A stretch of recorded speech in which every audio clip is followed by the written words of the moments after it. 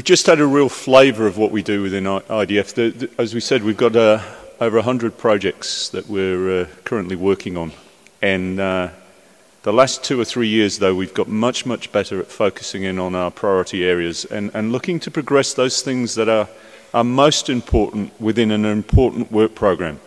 So the IDF work program, and Michael went through it, we couldn't find a single item that didn't uh, feature in importance for the uh, dairy sector. But um, in order to make sure that we're delivering the most value in the most timely way for um, the global dairy sector, we've put increased focus on, on a number of focus areas. You saw those in terms of sustainability, nutrition, food safety and quality, underpinned by that critical area of standards.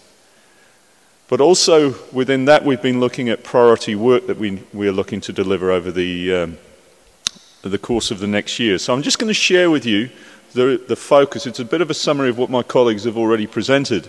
But what we're, we're looking to deliver in 2016, and I'm also going to ex explain a little bit more about the why. You've already heard it, but I'm, I'm going to emphasize it.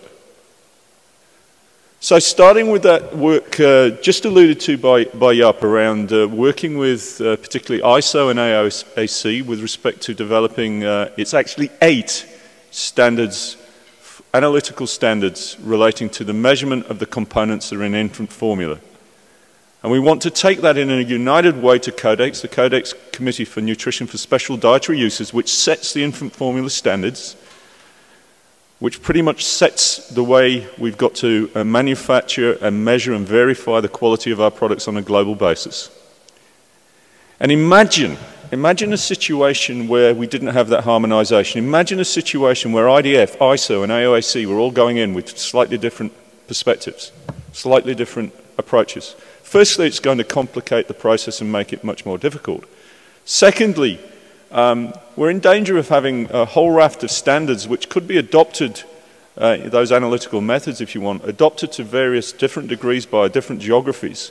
And then if you're looking at global trade, imagine having to do three lots of different analyses in order to meet, your, um, to meet three separate standards in order to do trade. It just doesn't make any sense. Because it's three times the cost. It's probably a lot more than three times the cost. It's certainly three times the complexity. Really, really important work. Often under the waterline. Often not seen as sexy. We need to promote this because it really is critical to the effectiveness, efficiency of the sector, and with that, our ability to provide this dairy nutrition, Jaap's cogs, ultimately leading to turning that nutritional security wheel. We're going back to revisiting this nitrogen conversion factor. I keep thinking we've won the war, but realizing we've just won the latest battle.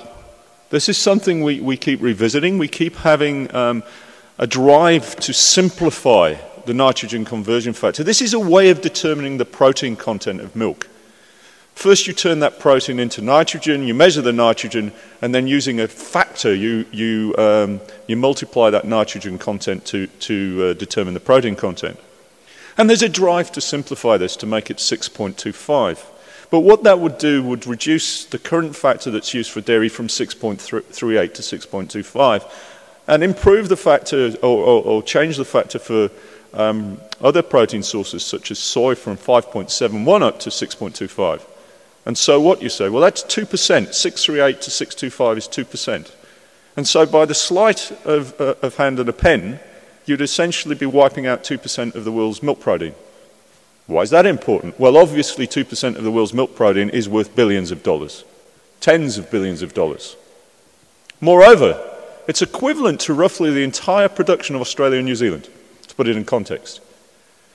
Why would you waste that environmental performance of the dairy sector and have to produce the equivalent again of that particular protein to feed the world? And particularly as we've got to increase our, our uh, the amount of dairy to, to meet you know, future food security. So on the one hand, I, I have a personal frustration with the drive for sustainability through many intergovernmental organizations, but also the tolerance of um, inadequate and non-science-based approaches to standardization. And it's something that we need to keep fighting. And hopefully eventually we will win the war, but it does feel like we have to win lots of battles in the process. So just those two, billions of dollars of value to the dairy sector from that work. Also, billions of dollars of value, but also the right to operate, quite frankly. And a number of battles we've been fighting for years, but we, we constantly do. This is, this is with respect to saturated fat and trans fat. The evidence is compelling now. Dairy doesn't do the things people previously said it did because of the saturated fat content or the trans fatty acid, the naturally occurring trans fatty acids within dairy. But we need to make sure that's embedded in policy at the global level. And we need to connect better with the uh, World Health Organization in particular. But to do that, we need to particularly connect with those key influencers that in turn need to influence the World Health Organization. We do not want fat to drag us back. Brilliant success with sugar. Can't overemphasize that win. We didn't want sugar, lactose, the natural milk sugar, to become the next milk fat. You've got sugar in your products, natural lactose. We didn't want to end up in a similar situation. So we're fighting back on fat. We've done something I think is extremely valuable long term with respect to uh, lactose. The World um, Committee for F Food Security, um, founded around 1950. It's been around a long, long time, but it's starting, it's, I refer to this as a sleeping giant. It's awakening and it's starting to gain prominence, particularly because it ad adopts a very public-private partnership approach to uh, its operations. Um, as you'll hear um, this afternoon, it is trying to be very, very inclusive with society, with business, um, with governments, because it realizes, rightly so, I think, that the way forward needs to be multi-stakeholder if we're going to make progress in this space. But to do so, we talked about we need to make the connection between food um, and nutrition, rather, and uh, sustainability in a more holistic way. We certainly don't have all the answers at this point in time, but neither does anybody else. And I, uh, I do recommend you come along and look at the work that's been done on the dairy sustainability framework later this afternoon, which will in fact show how we are developing comprehensive frameworks around sustainability. That'll match the great work we're doing in nutrition so that we can put the two together and end up with a much better picture. Although not, a, not necessarily a priority, a high priority for IDF, and certainly something we won't deliver in 2016 at the moment, we are looking at uh, working very collaboratively on another aspect of protein uh, quality. This, this is the digestibility and the availability of the, um, of the protein through its release as amino acids through digestion. And we've got some really exciting uh, work that's been done on this new method called DIAAS, which shows the superiority, superiority of dairy protein over, over substitute sources. And it's up to 30% uh, superior, certainly to some vegetable proteins. And what we want to make sure is that this replaces the current methodology, which truncates the uh, quality of protein due to the current methodology used at 100%. So dairy is 100%, but then many other proteins are 100%. This actually provides a, a much more discerning uh, view of, um, of protein quality. And I can't overemphasize again how important that is in a world where we can't afford to squander our nutrition and our environmental resources we use to produce that nutrition on inadequate policy based on, if you want, inadequate scientific input. Now, in time, much, much aspects of what we do in science becomes inadequate because we learn, we learn more we have new developments. But let's make sure the latest thinking is, is accommodated, particularly as we try and close this nutritional security gap. And quite frankly, the, two, the work there on protein quality um, is very, very important. But let's not new, lose the battle on protein content at the top there on the nitrogen conversion factor, because all the gains we could make in protein quality could be lost by protein content. The two go hand in hand. And it's billions of dollars of value and billions of people's health that we're talking about here. Getting high quality protein is a key part of the nutritional security debate. Um, Marianne talked about the food matrix, uh, uh um, the dairy matrix.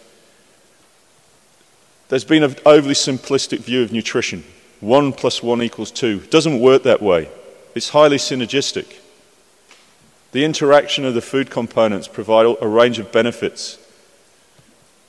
the um, individual food components do not behave in the same way when consumed within different matrices. And we've got to consider that they're consumed within diets and they're consumed within lifestyles. This is not something that just lends itself to a chemistry lab or an animal trial. It's complex, but we're starting to get a much, much better picture. There's a lot of work to be done, but we need to push that message around the dairy matrix, and it's high on our priority list. And it needs to feed into all of those intergovernmental organisations that are looking to set policy. And finally, Brian uh, alluded to this really important work on biodiversity that uh, we're working on at the moment. It's a very complicated area, biodiversity, but it's also a very topical area and it's a very uh, integral area to sustainability. So let's make a good start. Let's, let's at least get our consensus. Let's, let's get as many of the technical facts we can together to create uh, a perspective at least we can grow from. Without that, we're going to have some serious chaos as we try and define sustainability. Um, so high priority and something that, uh, again, we're looking to push in 2016. So, ladies and gentlemen, I think this demonstrates that we are fulfilling our purpose. We are reaching global consensus on important science and technology related matters. We are taking those to the key intergovernmental organizations. And moreover, this work will deliver significant value, both in dollar terms to the, uh, the dairy sector, and at the end of the day, we need dollars to make the chain work. That dairy nutrition will not be there if there are not dollars to drive farmers to produce the milk, processors to process that milk, distribution and marketing. It's important. It is a commercial activity, but it's a commercial activity that delivers huge benefits. And of course, those benefits will result in better health and wellness for billions of people. Thank you very much.